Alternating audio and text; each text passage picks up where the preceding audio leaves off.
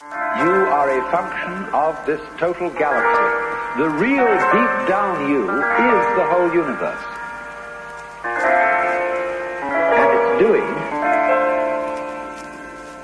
your living organism and all its behavior.